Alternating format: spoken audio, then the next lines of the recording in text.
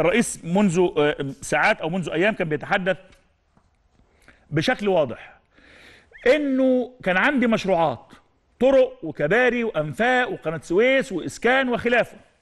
وإحنا كلنا بنشوف الرئيس وهو في المؤتمرات بيتكلم بيسأل المسؤول تخلص في قد إيه دي؟ يقولوا له تخلص في ست شهور. يقول لهم لا أنا عايزها في ثلاث شهور.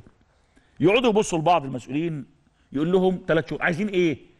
عايزين عندكم ثلاث شركات خلوهم ست شركات. عايزين إيه؟ قولوا لي انت عايزين إيه؟ في كل القطاعات تعليم وصحة وخلافه. بنشوف هذا الكلام؟ بنشوفه.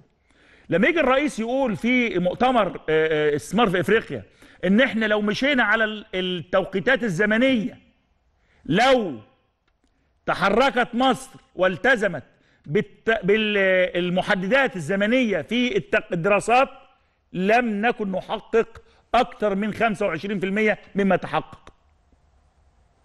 لو إحنا فعلا لو إحنا فعلا أنا بقول كلام هو واضح لو كانت مصر الدولة مشيت على الجداول الزمنية المقدمة من طبقا لدراسات الجدوى يعني دراسة الجدوى بتقول قناة السويس تخلص في ثلاث سنين.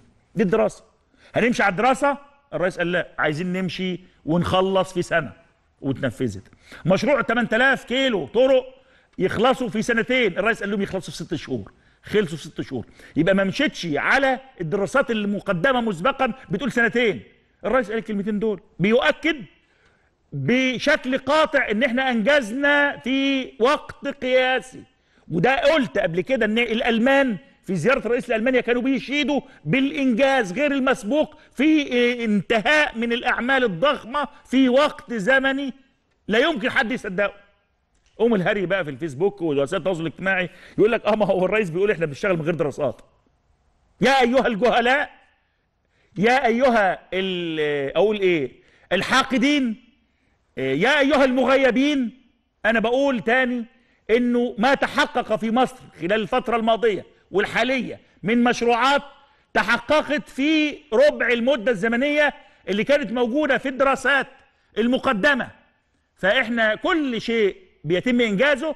هناك محاولات حثيثة هناك خطة ممنهجة لمحاولة التشكيك واهاله التراب عليه. إحنا بس بنوضح لأهلنا في مصر إنه فيه ناس لنا بالمرصاد. في كل مشروع بيتم إنجازه أو إنتاجه هناك محاولة للإلهاء. نروح بعيد عن الإنجاز والإنتاج فكرة السجادة الحمراء.